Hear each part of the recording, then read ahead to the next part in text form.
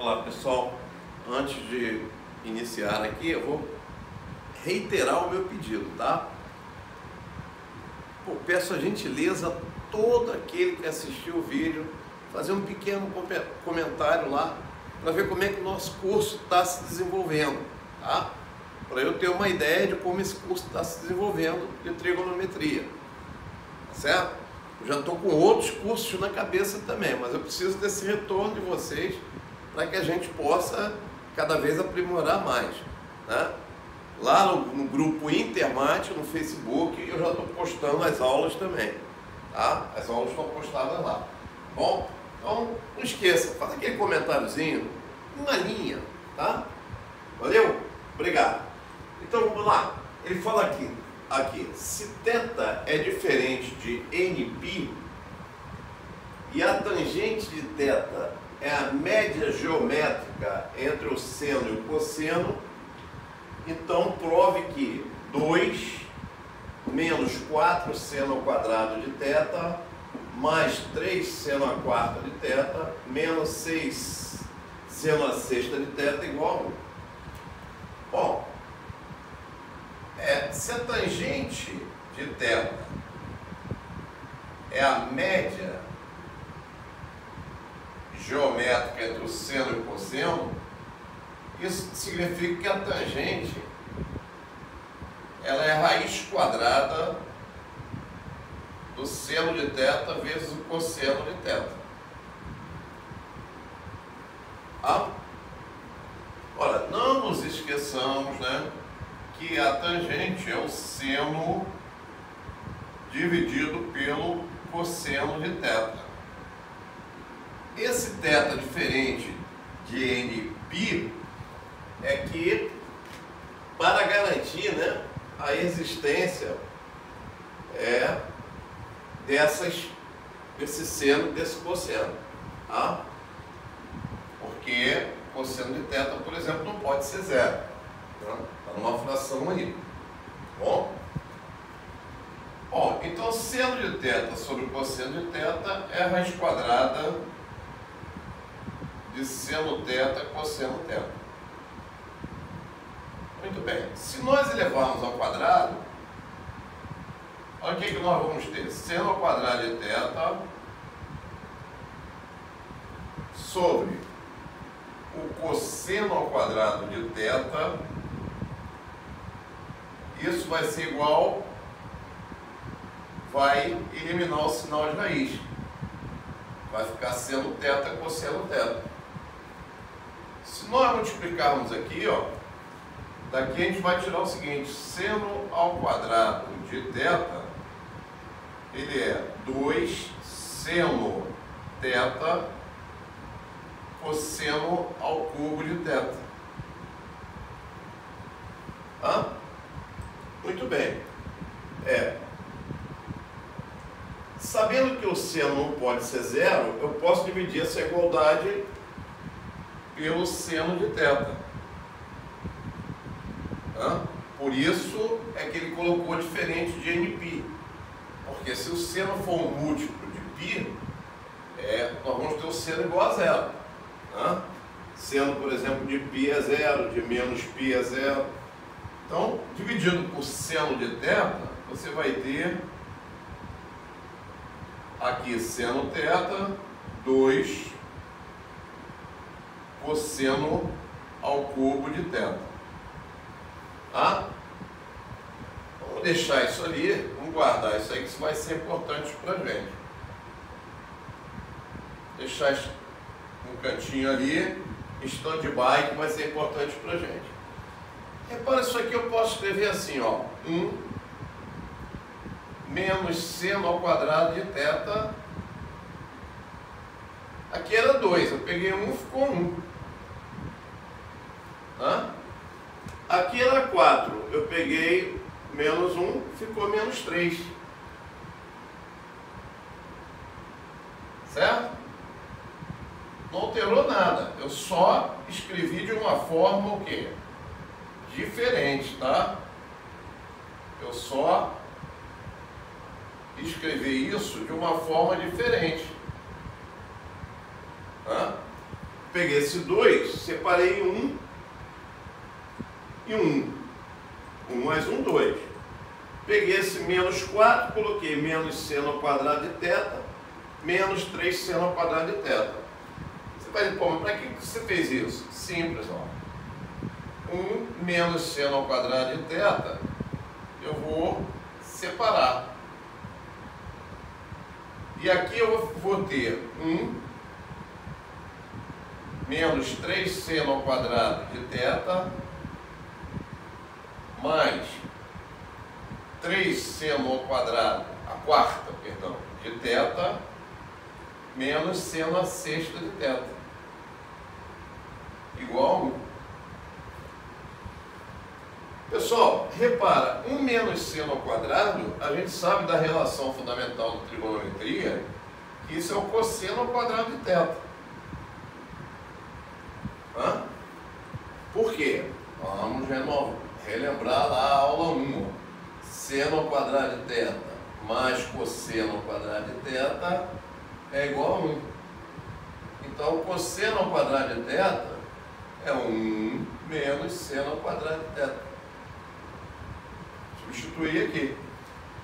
Ah, esse 1 menos 3 seno ao quadrado de teta mais 3 seno ao quadrado de teta menos seno à sexta de teta é 1 menos seno ao quadrado de θ elevado ao cubo. Isso é igual a 1. Produto notável, tá, gente? Cubo de uma diferença. Ó. Cubo do primeiro, 1, menos 3 vezes o primeiro, 3 vezes o, quadrado, é, vezes o segundo, seno ao quadrado. Aí o contrário, mais 3 vezes o primeiro pelo quadrado do segundo, 3 seno a quarta de θ menos o cubo de segundo. Cubo de uma diferença. Beleza? Muito bem. Olha, agora ficou mais fácil para a gente. Por quê? Repare uma coisa. Aqui eu fiquei com cosseno ao quadrado de θ.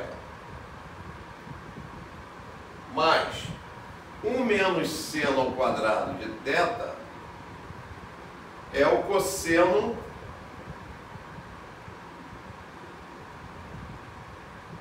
ao quadrado de θ. Só que está elevado ao cubo. Hã? Está elevado ao cubo. Ora, então repara o que vai acontecer. Vamos escrever isso aqui de outro jeito. Ó. Cosseno ao quadrado de θ mais Aqui eu posso trocar, né? Posso trocar isso. Certo? Posso escrever isso de uma outra, de uma outra forma. Aliás, aqui tem, tem um, uma passagemzinha nada minha, tá? Não tem esse 2 não. É cosseno ao cubo de teta. Tá? Não tem esse 2 não. Aí ficou mole, ó. Quem é o cosseno ao quadrado de θ? É o seno de θ. Vamos substituir aqui.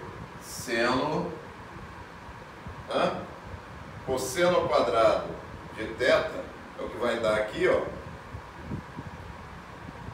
Seno ao quadrado, cosseno ao quadrado, cosseno ao cubo. Então isso aqui é cosseno ao cubo de θ elevado ao quadrado. Então é seno ao quadrado de θ. Tá? Aí provado então o que ele queria. Tá?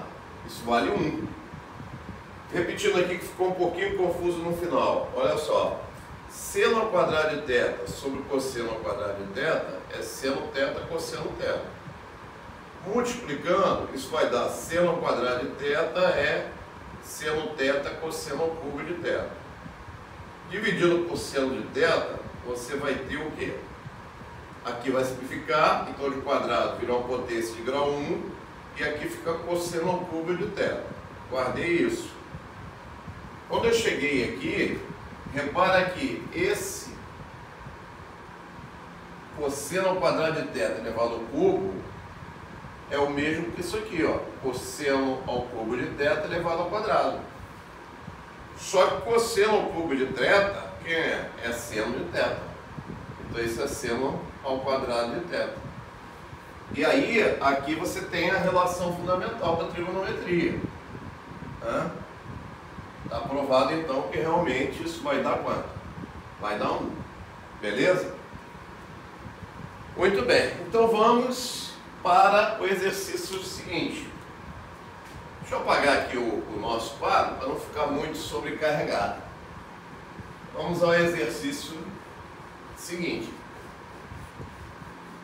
O exercício seguinte, eu tenho o seguinte.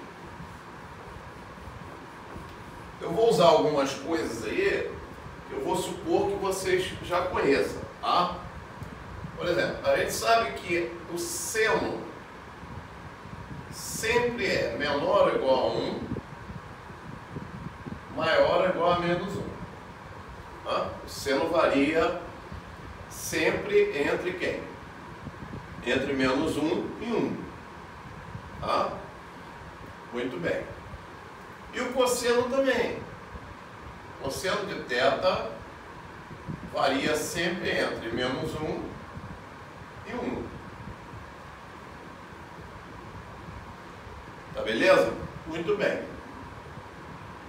Ele fala, se x é seno a décima quarta de θ, mas cosseno de θ elevado a 20, então prove que x é maior que zero, que é menor ou igual a 1, para todo θ pertencente a R. Muito bem. Ora, daqui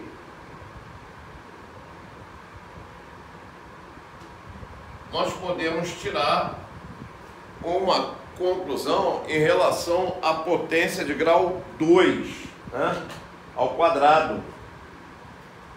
Ora, se o x varia entre menos 1 e 1, sendo,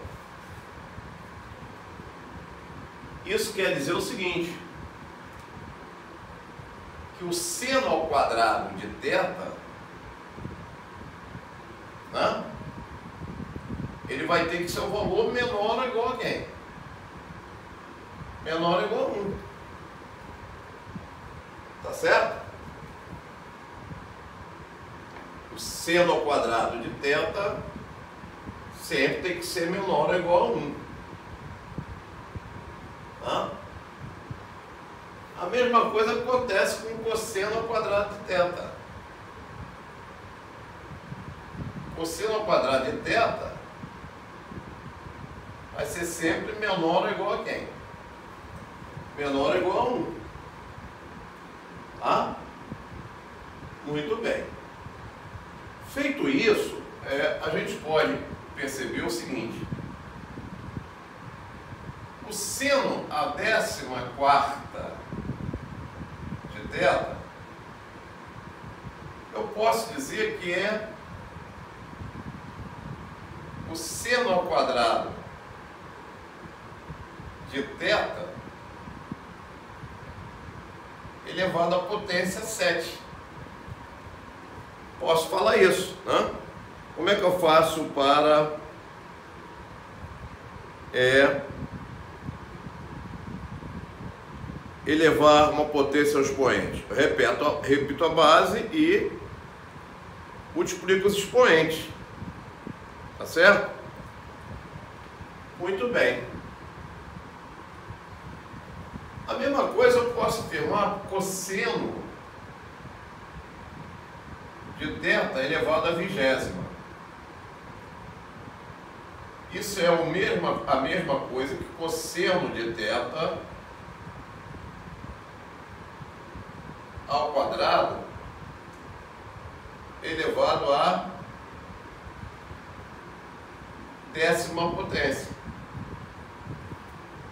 Tá? Se eu repetir a base e multiplicar os expoentes, eu vou obter respectivamente seno a décima quarta né, teta e cosseno elevado a vigésima de teta. Bom, mas é fácil a gente perceber o seguinte, que o seno de θ elevado a n é sempre igual, menor ou igual, melhor, Melhor. Fazer assim, a n tá? É sempre menor ou igual a A tá? O A elevado a N é sempre menor ou igual a A para todo N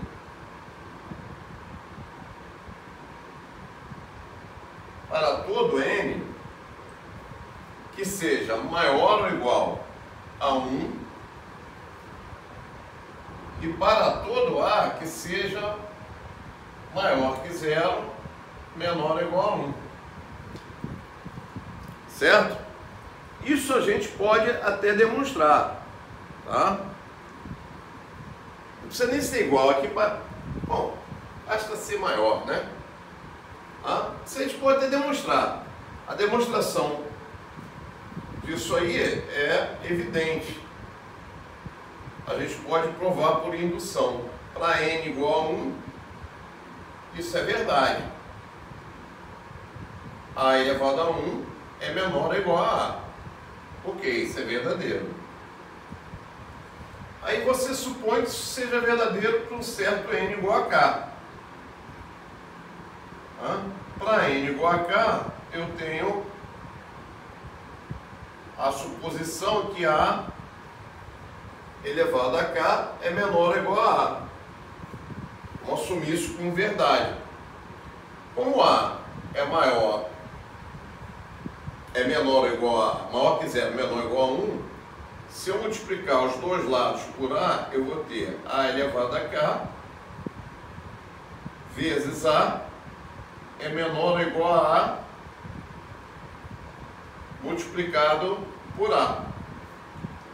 Isso dá A elevado a K mais 1,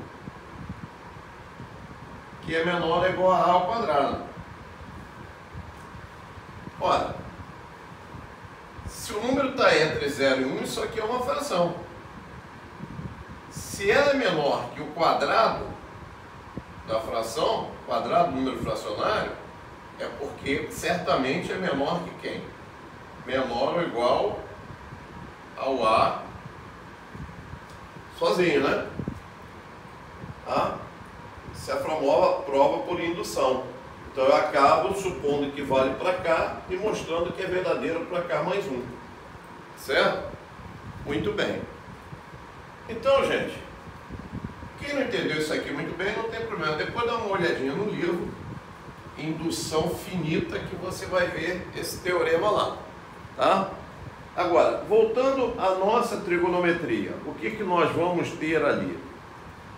Olha, depois que nós mostramos que isso é verdade, eu posso dizer o seguinte, repara, é, eu quero provar que o seno quer saber, né? Provar que o x está entre 0 e 1. Um. Então, repara, seno elevado a 14 de θ, nós acabamos mostrando que ele é igual a seno ao quadrado de θ elevado a 7. Tá? Mas nós acabamos de mostrar que A elevado a N tá? é o que? A elevado a N é menor ou igual a A. Então isso aqui com certeza é menor ou igual a quem? Ao seno ao quadrado de θ, que é o nosso A. Tá? A mesma coisa acontece para cá. Ó. Cosseno de θ elevado a 20 é igual a cosseno ao quadrado de θ elevado a 10. Repete a base e multiplica o expoente. Usando o mesmo argumento, ó, cosseno ao quadrado de θ elevado a n, a 10, tem que ser menor ou igual a quem? Ao cosseno ao quadrado de θ. Tá? Se você somar essas duas desigualdades, você vai ter aqui o seguinte, ó, seno elevado a décima quarta de teta menor ou igual ao seno ao quadrado de teta. Tá? O cosseno ao quadrado é, de teta elevado a 20 é menor ou igual ao cosseno ao quadrado de θ. Se eu somo essas duas desigualdades, eu tenho isso aqui, ó, seno de θ elevado a décima quarta potência é menor ou igual a seno ao quadrado. Mais, vou somar logo, né? Cosseno de θ elevado a 20 é menor ou igual a seno ao quadrado de θ mais cosseno ao quadrado de θ. Bom, mas repara, quem é esse camarada aqui? Esse cara é o nosso x. Então você acabou de provar que x é menor ou igual a quem? Olha a relação fundamental aqui. A relação fundamental é 1. Por outro lado, esse seno a θ elevado a 14 é positivo. Cosseno elevado a, é, elevado a 20 é positivo. Logo, com certeza, x é maior que zero. Então, daí a gente acaba provando que x é um número positivo, maior que zero, e é menor ou igual a 1 para todo θ pertencente a quem? Aos reais. Tá? Então, a, a grande jogada do problema é exatamente essa passagem aqui, ó.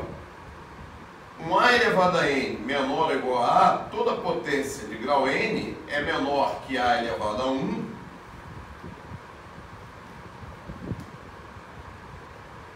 Né? Para todo que N que seja maior que 1. Desde que esse A esteja aqui, entre quem? Entre 0 e 1. Um, uma base é, fracionária. De fato, né? Se eu tenho, por exemplo, meio, meio elevado a 3, isso vai ser menor que meio. Hã? Um 2 quintos, também está aqui, 2 quintos elevado ao cubo é menor que 2 quintos. Porque isso vai dar 8 sobre 125 e esse número é menor que esse. Então, A elevado a N é menor ou igual a A. Isso nós provamos lá por indução matemática. A gente verifica que vale para N igual a 1, suponha que vale para N igual a K e prova que vale para o seguinte, o K mais 1. Tá bom? Pessoal, não esqueça de fazer lá o seu comentáriozinho, isso é importante para a gente. Tá? Essa questão aqui é uma questão um pouquinho mais, mais cabulosa, mais brava, né?